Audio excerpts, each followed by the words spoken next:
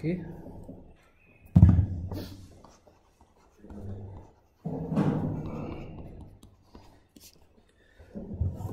Okay, so let's start. So we have been looking at uh, multi-stage OTAs and how to stabilize them. So basically we started off with uh, two-stage OTA. So say this is GM1.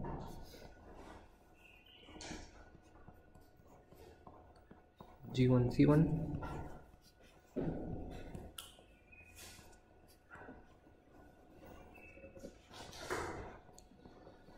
So this is a G2, C2.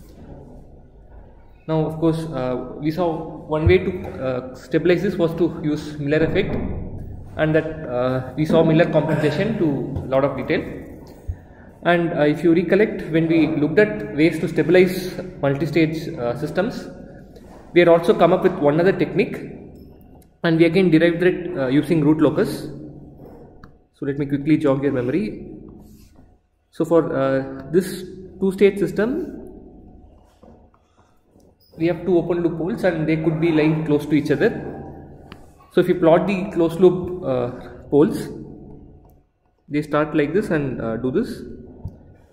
And we told for a well behaved settling response, we wanted the closed loop poles to lie on the real axis. And we could accomplish that by introducing a left half plane 0. So then the uh, root closed loop poles will do something like this. Okay.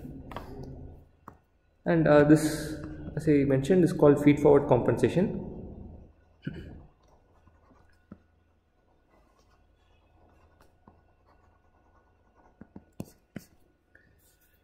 So now uh, this is a two-state system.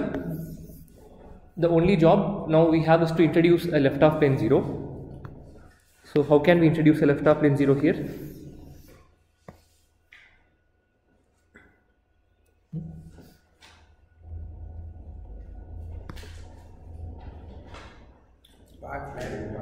Yeah, you just need to, I mean, if you recollect the origin of the 0 physically, why it comes? Because when we have the output obtained as sum of two quantities, right? So here we just need to obtain the output as sum of two quantities. And it's usually and it's usually easy to add currents in circuits because you just do this. So if this these are uh, currents i1 i2 this is i1 plus i2 right? So if these are i1 and i2 this current is basically sum of the two. So it's basically easy to add uh, the current. So what can we do yeah so what, i'll have to add something from here to here what should I put? Yeah, okay, I showed the circuit before, so forget that you know that, right? I mean, let's try to derive it from scratch, right? That's how you understand it, right? See, I mean, one thing is to put up the circuit, analyze it, and see what happens, but to get a better feel for it, you try to see how you can derive it from scratch. So that way, you get some ideas to how you can synthesize new circuits, right? So, uh, that that must be the obvious thing should that should strike, right? So why can't I do the put a resistor here?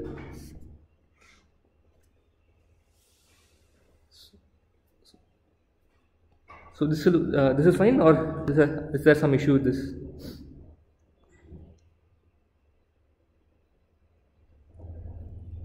I mean, what he's suggesting is fine, right? Because the resistor is now going to introduce a path in this direction. Ah, the issue is the resistor is a bilateral element, so you not only have feed forward, we also have a feedback, right?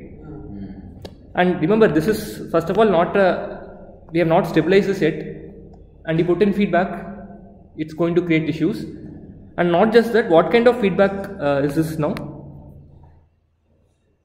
It's positive feedback right? Because if I increase this voltage this will increase this will also increase.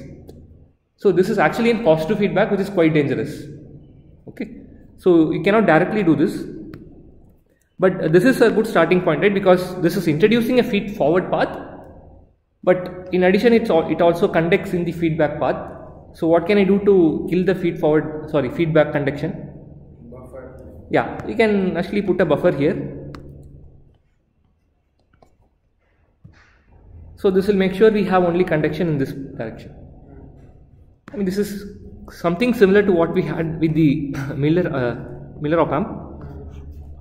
So there, if you recollect, here again we had both feed forward and feedback, but here in Miller op amp, what was uh, what did we want? Did we want feed forward or feedback?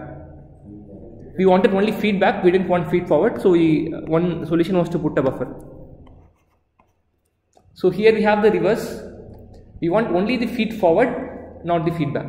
So, so this is a solution that should work.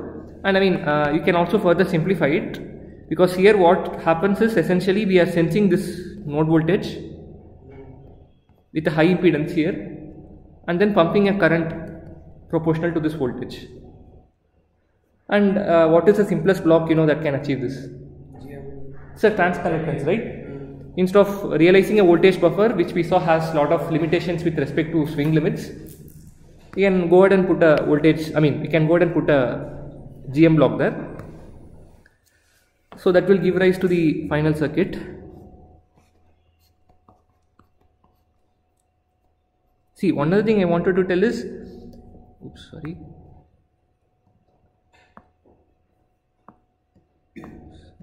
Yeah. Yeah. See here, uh, see here one, uh, one of the issues was this was in positive feedback, right? Why can why can't I not change the sign like this? I mean, let's say we don't have the buffer here and. Huh? Sorry. That second GM we are using as common source amplifier. So So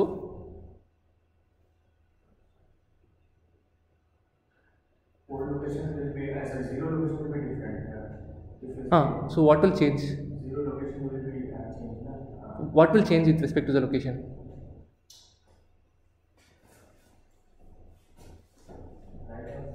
Ah, see, if you think about it, we want a left half plane pole, sorry, left half plane 0, right? If you want a left half plane 0, the two paths here must have the same sign. There should not be sign inversion in the two paths. Okay.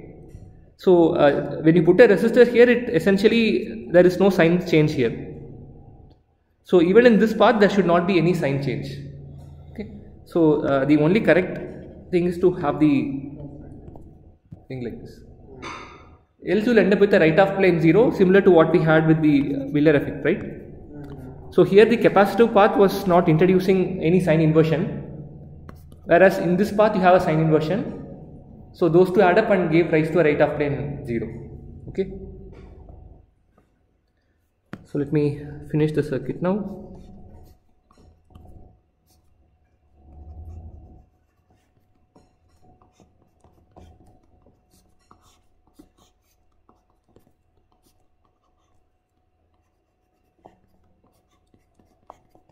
So G1 C1 this is G2 C2 and to add the feed forward path I am going to put another GM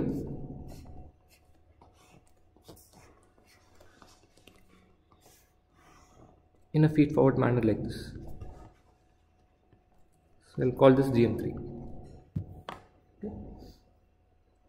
Now I mean this GM3 will also have its own conductance and capacitance and you will also have load conductance load capacitance so i'll uh, lump everything and say this is some uh, gl prime and cl prime as usual okay. So gl prime consists of the conductance of the second stage third stage and the load. Similarly cl prime comprises of all these three components.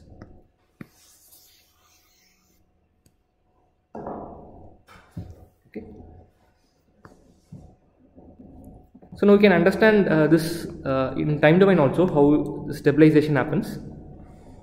Now uh, if you think about it, the main issue if I don't have this guy right, so let's say disconnect this. If I just had the two stage without the feed forward, the main issue was when you put it in negative feedback like this. In this case, it can become unstable. That was the main issue. And uh, here when you put in negative feedback, it becomes unstable because we have two poles and each adds a time delay. So overall you have a lot of delay in the system and as we saw before if you have a lot of delay neg negative feedback system that's a recipe for instability okay? And that's why basically we have this issue. Now the moment I go and add this feed forward path so whenever we have apply some input right? You see that this path is going to be responding faster right? Because essentially we are bypassing this guy here right so the response from the top path is going to be much faster than the original path we have. So usually this this is called the fast path.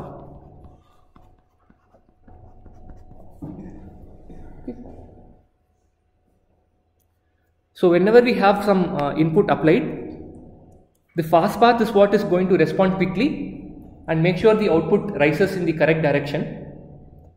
And the slow path here takes some time to respond and finally you know it starts to respond and we get the final output. Okay. so the fast path basically provides a quick and a dirty estimate. Right? I'm calling it a dirty estimate because the dc gain of this path is small. Right? It just gain of one stage. But finally we want dc gains of both these guys. Okay. So initially the fast path responds responds quickly but the dc gain is small so after uh, the output uh, responds quickly then the slow path takes over it starts to respond and we get the final gain of both the stages okay I mean, this is not some uh, great strategy. This, I mean, I know in cricket also, if you notice, people use it. One quick example that pops to my mind is in IPL, in Kolkata Knight Riders, they send Sunil Narine up the order for batting. That guy is not a batsman, they just send him so that he scores some 4 5 sixes in the first 5 6 overs. So he's like the fast path, right? Initially, he boosts the run rate, he gets out later, and then the proper batsmen come and you know stabilize the innings. It's the same thing essentially. Cool. So now let's uh, try to find the loop gain for this. And uh, yeah, let's try to write the DC gain poles and zero locations directly. So first, what is the DC gain here? And for DC gain, basically we will not consider the capacitors, right? They are open. So if I apply some input here, first what is this voltage V1 DC? GM1 by G1 so what is this current? GM2 times GM1 by G1. What about this current from the fast path? That is GM3 times V1. Okay. So both these currents add up and flow through GL prime to generate the voltage. So what is the final entire thing divided by GL prime? Okay. So how can I approximate this further? Only the first term, right? Because this is gain of two stages. This is gain of only one stage. And for all practical purposes, this is basically the product of the two gains. GM1 by G1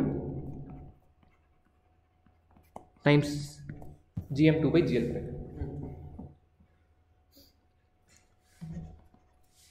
So this is uh, the DC gain.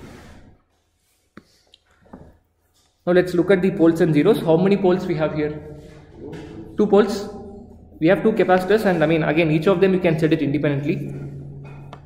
And again for calculation of poles we can zero the input. And if you zero the input this GM3 is not going to play any role. Okay. Basically we just have these two guys and there is also no coupling between them. yes. Nicely isolated so what is the first pole? What's the first pole location? G1 by C1. Second pole? GL prime by CL prime. Done. So pole locations didn't change and that's what we expected, right?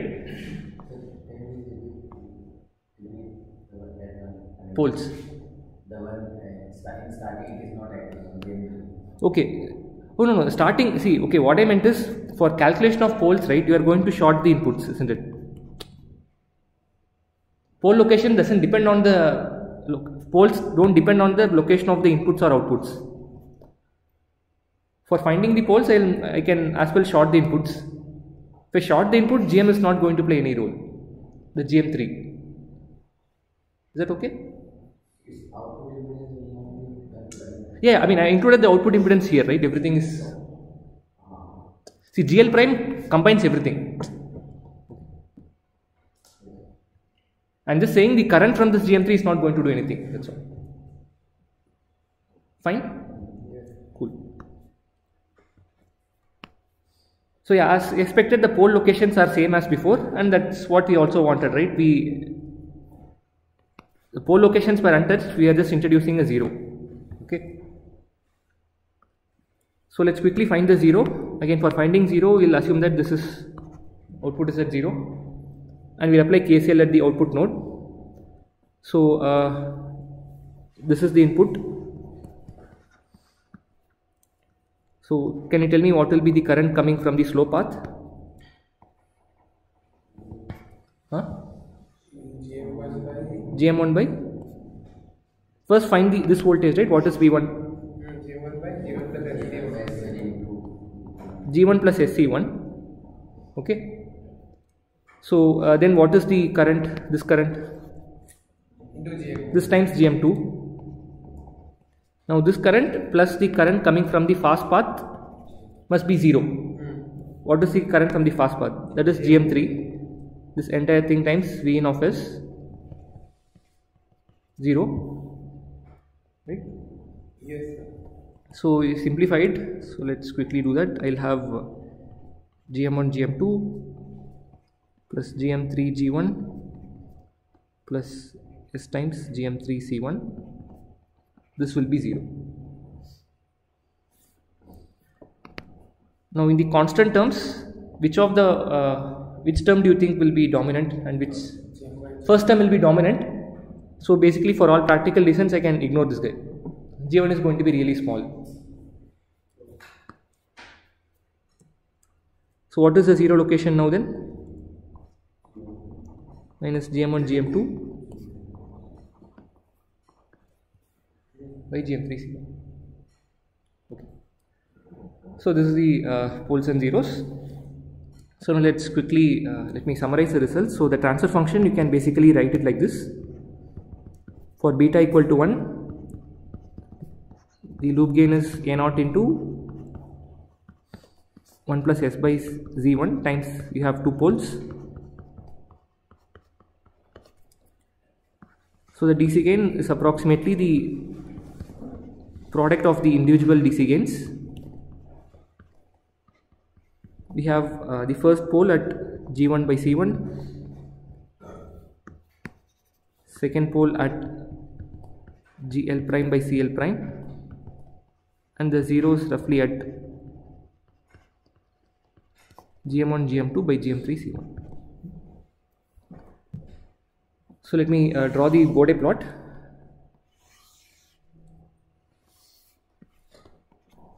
So the magnitude we it's going to start from A naught. And then I'll have two poles say here and here. And then I'll have the 0 maybe I'll say it comes somewhere here. And then it will lose okay so these are the two poles. And this is the 0 we know it will be less than zero? ah we'll come to that. Let's say this is the case now. Hmm? so now uh, let's draw the phase. So we have two poles. And let's say the two poles are uh, yeah nearby. And let's say they contribute around 180 degree phase before. Okay so let's say the phase goes to minus 180 hmm? just drawing a rough sketch and then when the zero comes what will happen to the phase? It will start to rise so it will basically do something like this and asymptotically reach 90 okay, this is 180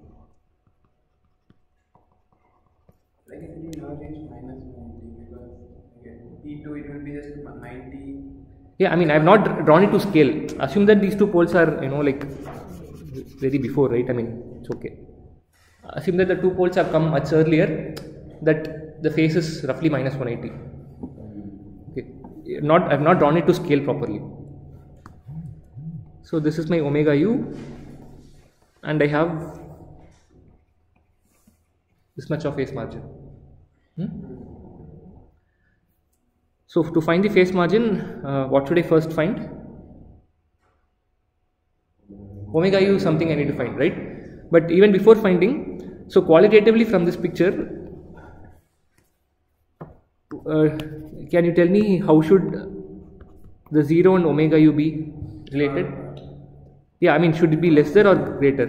Omega u should be greater than- Oh, z1 must be less than omega u okay i mean you can understand it from two ways. Like first is see the act of making the system stable we are essentially making sure that around omega u it behaves like a first order system right? You have two poles already so you better introduce a zero much earlier so that when you reach omega u it's like a first order system. And number two, from the phase also you can see when because of the two poles the phase was going to minus 180.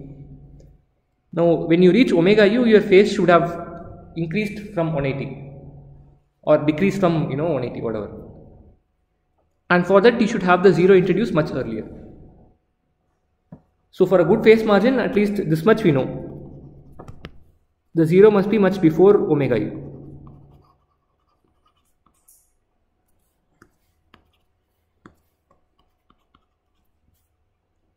okay cool so let's quickly find uh, omega u. I'll copy this.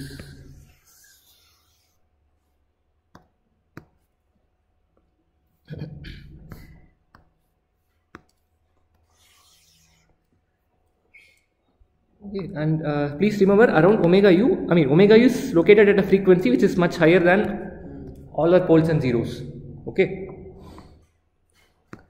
So the, in that case uh, can you okay to do this yeah so around omega u can you approximate how can you approximate the loop gain to be? No no i mean in terms of this guy. I mean basically when i'm looking at omega u i'm looking at frequencies which is greater than z1 p1 and p2 if i'm looking at a frequency complex frequency s greater than g1 A naught by S, P1 Yeah. by P1, P1 P2 upon yeah so it's just going to be a naught times s by z1 upon S by P1. s square by p1 p2 Ah, right? And uh, to find omega u i'll just put magnitude of this at 1 so basically you put s equal to j omega u and equate it to 1 so what do you think omega u is? You just put it equal to 1 right? I mean roughly A naught, A naught, yeah a naught. Uh, P1, P2 upon that one. Okay.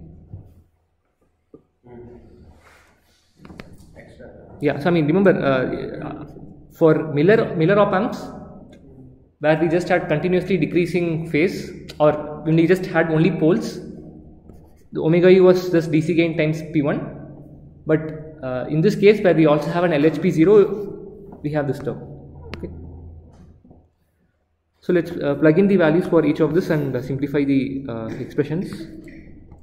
So DC gain is gm1 by g1 times gm2 by gl prime.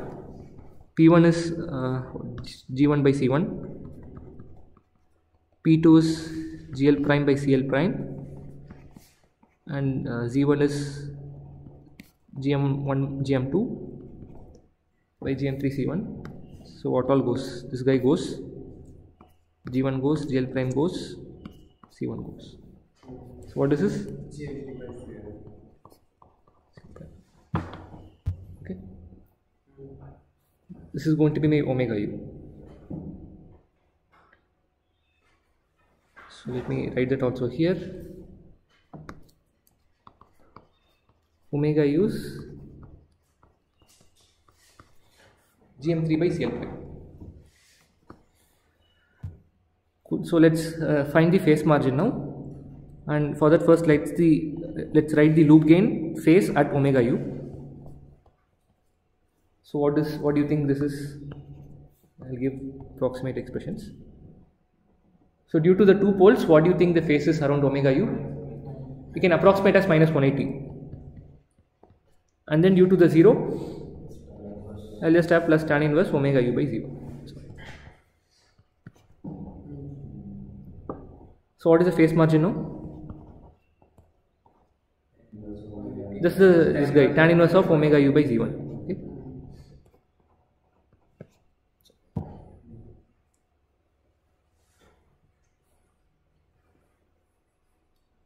So let me take it to next page.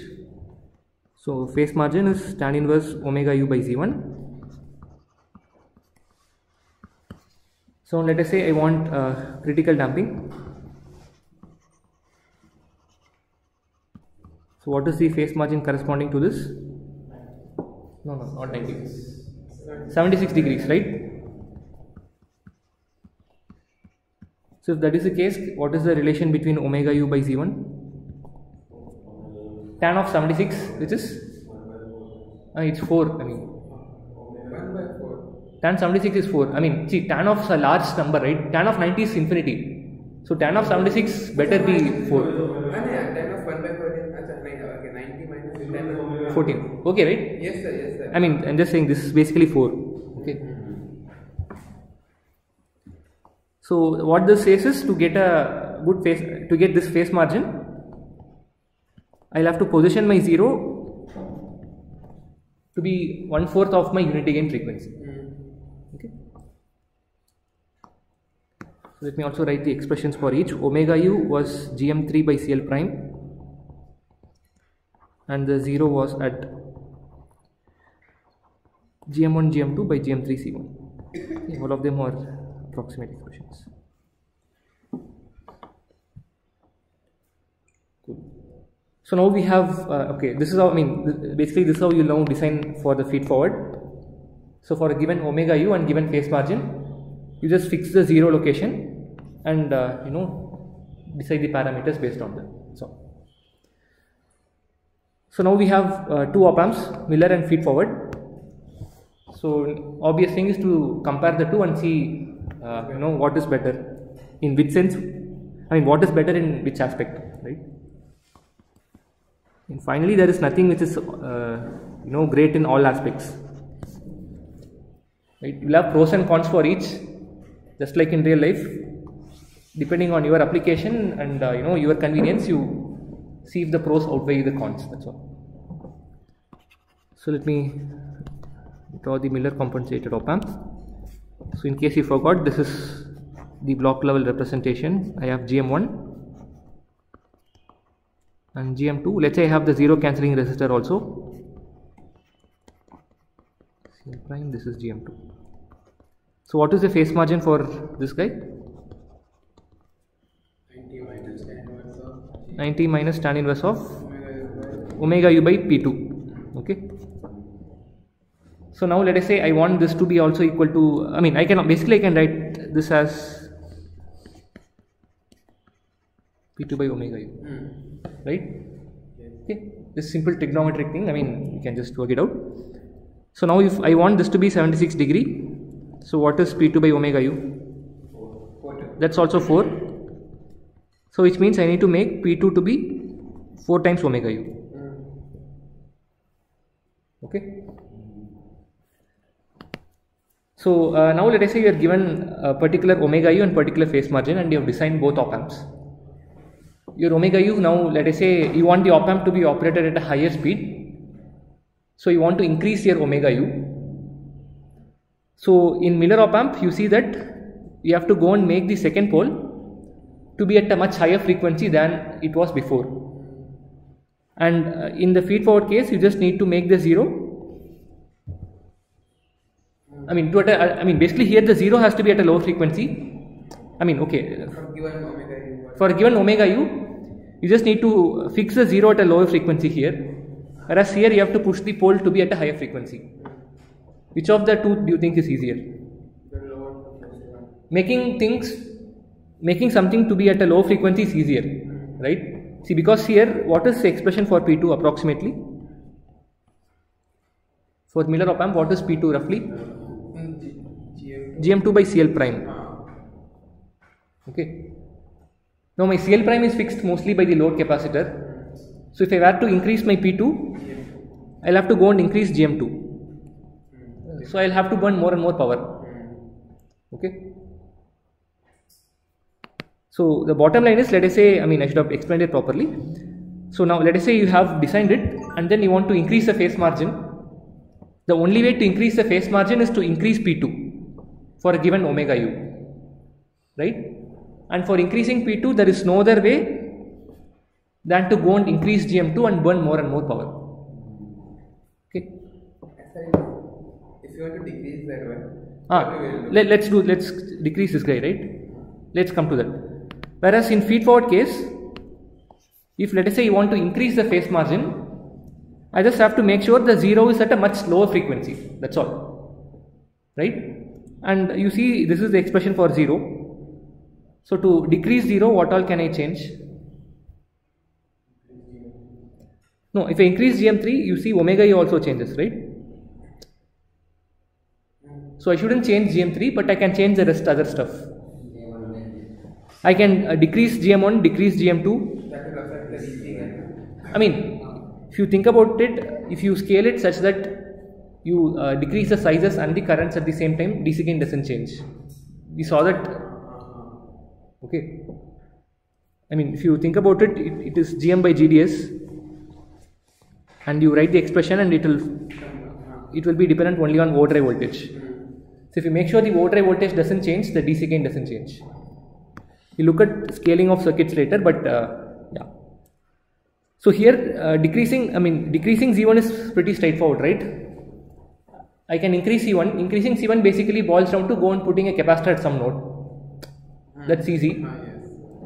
I can uh, as well decrease the two guys, which means I'll go and reduce the power. So usually uh, that's advantage with feed forward. It can consume a lower power potentially. When you design for a given phase margin and omega u. Okay.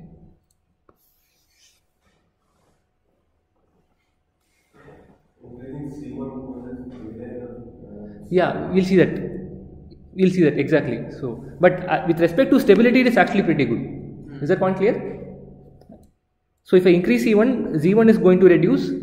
If Z1 reduces, my phase margin is going to increase a lot. But as he mentioned, uh, increasing uh, doing this actually has another uh, problem. I'll we'll come to that now. So the main issue is the following. So if I take the feed forward structure,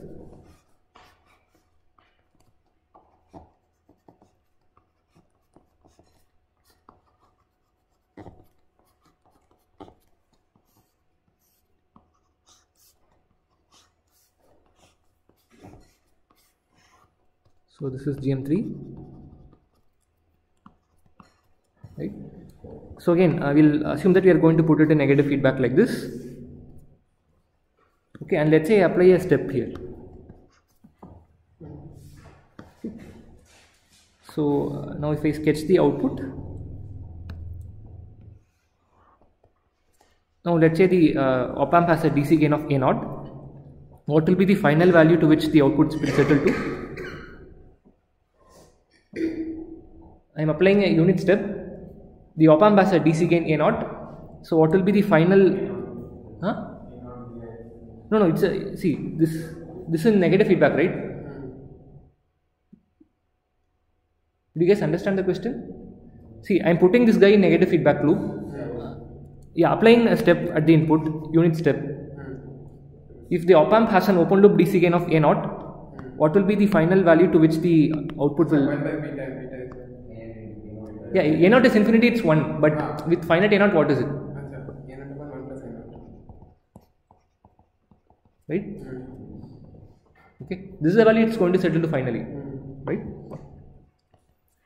So let's see what happens at t equal to 0 first. So when you first apply this step, let's say the output is 0, so the capacitor is uncharged.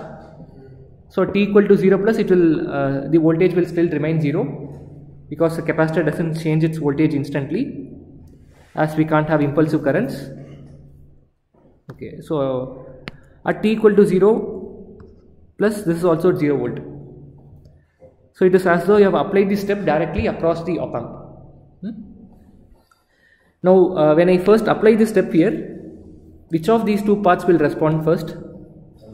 The fast path is going to respond first. Okay. So initially what you will find is that the output will keep increasing only due to this guy. Okay. So the settling is going to happen as though you had only the GM3 stage, right? So uh, only the GM3 stage will cause the output to rise. And let us say you had only the GM3 stage, right? You didn't have the this guy. Okay, we had only the GM3 stage. What will be the uh, output level to which it will settle to finally? Like A1 upon A1. It will be smaller, right? Because GM3 stage has a smaller DC gain than the two stage combined. So if you just had that first stage, it will do this. But now we don't just have this. So uh, the slow path will also start to respond later. So the final output, oops, what happened? This is the settling only with GM3. Now the actual output will follow this. But let's say after this point, the slow path will start to respond and then the output will rise and uh, because you actually will find that uh, the output will take very long time to settle to this value it will be hovering around this for a lot of time but to exactly settle to that value it will take a lot of time mainly because this path is slower and this path is much faster okay uh, without going to a lot of details i'll show some simulation results so that you will understand so here what I've done is I've taken uh, feed forward op amp, DC gain of 60 dB, that's 1000. So uh, it has unity gain frequency of 9.2 megaradians per second, that's here. This is 0 dB, okay. And the phase margin is 78.2 degree, okay. Now we take two stage Miller op amp, same DC gain 60 dB, same omega u, okay. And phase margin is slightly worse. Okay. So now i take the two op amps put it in negative feedback apply a step. And if i do that this is the response i get. So the one in blue is uh, feed forward and one in yellow is miller. So as you see uh, the output will settle finally close to 1 and the miller op amp settles much faster. Okay. The feed forward takes actually a much longer time to settle. And that's mainly because of the combination of this slow and fast path. Why did it go above? it can go above. Because you have the zero we can't exactly predict it and if i actually zoom in and show you you'll even appreciate it better. So here i'm showing the same response where i'm showing the uh, scale in db. So that you can see minute differences. So the dotted line you see here that is the expected level to which the output has to settle. And you see the miller guy has settled already. Whereas the feed forward has still not settled. And actually if i uh, here i've shown the time only to 0.12 microsecond and even if i uh, look at the time close to 4 microseconds here the miller has already settled. But the feed forward is still taking a lot of time. Okay. So this is one uh, issue with feed forward that uh, although it can have a lower power for a given phase margin it will take a lot of time for accurately settle. Right? I mean it's by this time the output is almost close to the required value but if you want very accurate settling this is not the option. So the here the plus side is oops yeah. You can get actually a faster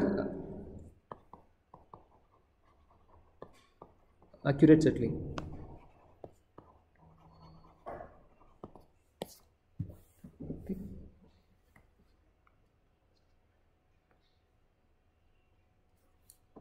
Now there is uh, one other uh, issue, not an issue, another property of feed forward.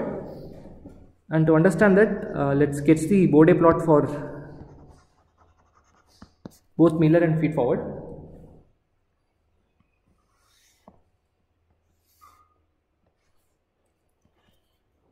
So for the Miller op amp, we have the DC gain.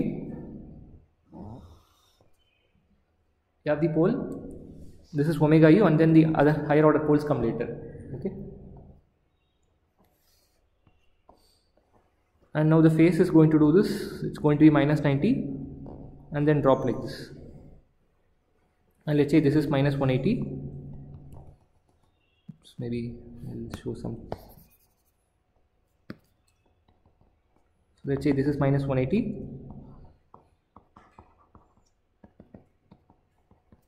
This is our phase margin. Okay. Now let's say this is for beta equal to 1. Now if I make beta to be half, what will change here? Yeah, in the two plots, what will change? Yeah, I mean, in the magnitude plot is going to scale down. So we'll have something like this phase plot is going to remain unchanged. So you see that the phase margin has actually improved a lot. And we saw earlier also, right? Beta equal to 1 was the worst case feedback factor for stability. This is true for Miller op amp. So let's quickly check what happens when feed forward.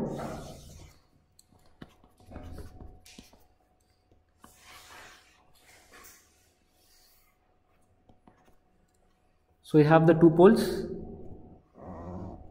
and then I have the 0. So now the phase let's say goes to minus 180 and then kind of increases and does something like this.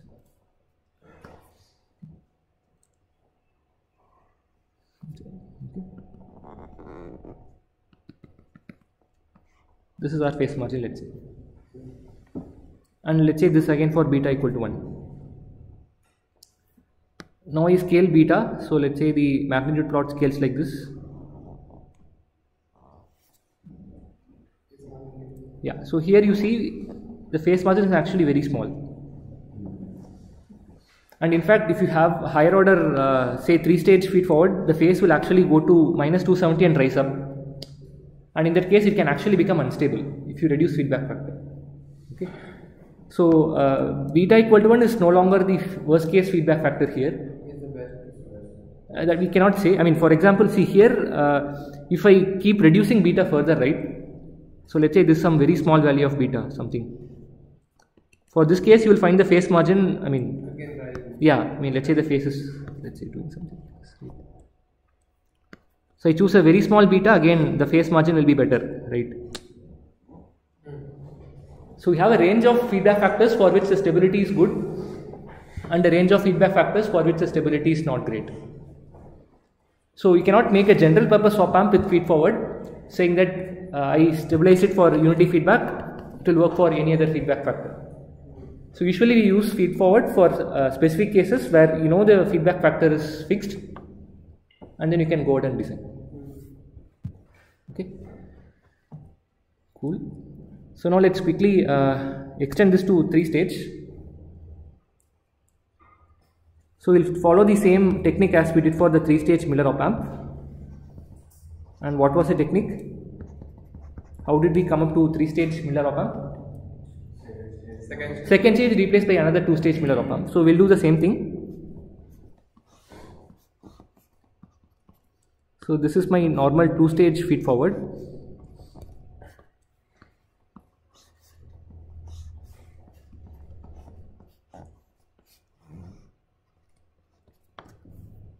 So here the second stage I am going to replace by another two stage feed forward op amp, right?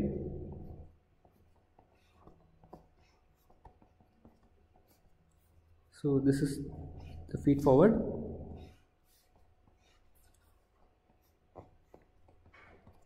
Okay. Now this is going to be another two stage feed forward.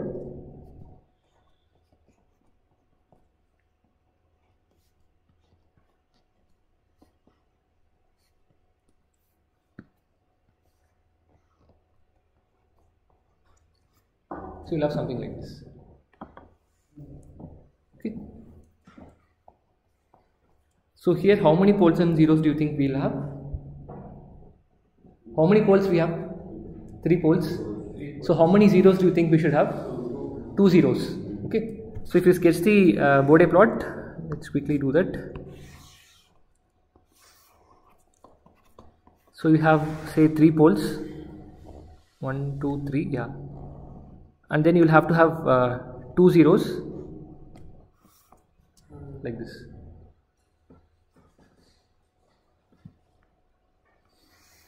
So we plot this phase, phase will try to go to minus 270 and then it will rise because of the two zeros and reach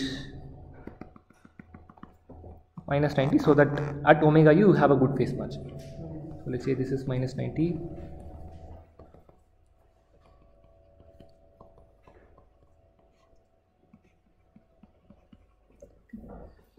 So now by this time you should understand the logic.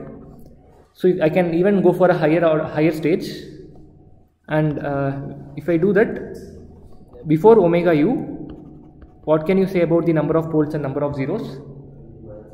Number of poles minus is to 1. okay. Again the logic is same. When I reach omega u I should behave like a first order system. So we have 5 poles. I better introduce 4 zeros after that before I reach omega u. So and I mean this uh, this kind of feed forward compensation is also it's very popular in the sense uh, let's say you have uh, negative feedback system where let's say you have put two stages sorry uh, let's say three or four stages. I'll just put in block. You have cascaded three stages. This you might do for getting a higher gain or getting a higher order filtering or something. But this is going to introduce a lot of delay. So uh, simplest way to stabilize this guy just to actually go ahead and add fast paths. So now this is basically having three delays let us say. We can actually do one bypassing like this. So this is going to bypass this delay here. And this might uh, also not be good enough so you put one more guy here. That's basically what we did for the three stage feed forward right? Yes. And uh, I mean, see, if we go for three stage op amp, it's not necessary that I should do only a three stage feed forward or I should do only a three stage Miller op amp. See, for example, here, how did we come to the three stage feed forward? We replaced the second stage by another two stage op amp, and the two stage op amp was a two stage feed forward. But is there another two stage stabilized op amp that you know? Miller op amp. So basically, I can also uh, replace the second stage by Miller op amp. I'll quickly show that in, the class. See, this is the two stage feed forward. Now to get a three stage, I am going to replace the second stage by a two stage op amp. And this two stage is a two stage Miller op amp. That's all. So I will show the signs later. Let me make some space. This is the first stage, second stage, and I put the Miller capacitor and the zero cancelling resistor, and I'll finish it. That's it. So now, uh, can you tell me what should be the signs for these guys? So first it starts with this. If I call this A and B, which should be uh, negative? A should be negative because the Miller capacitor should be in negative feedback around that particular stage. So this guy must be negative, right? Only then uh, this guy is the negative feedback around the particular GM. That should be the same thing, negative So then what should be this guy? If I call it A should be negative. Why is that so? positive Great, right? Uh, for feed forward, we need to have a LHP zero, which means if I, I mean, if I call this as plus and minus, in the fast path there is no sign inversion. So even in the slow path, I should not have a sign inversion. Only then I'll have the LHP zero. So which means this guy has to be negative. That okay? So now because this already introduces a sign inversion, so you invert the sign again here. So so that overall there is no sign inversion. Okay. Now, uh, sometimes if you find that uh, this is not stable enough, one thing again you can do is add a feed forward like this, right? So you can put one more feed forward like this, and for this, this has to be some plus GM. Yeah. So I mean, now you know the techniques. Depending on your application and uh, you know the stability you want, phase margin you want, you can combine all of them and come up with new new op. That's all. Okay. Cool. So we'll stop here and uh, we'll continue.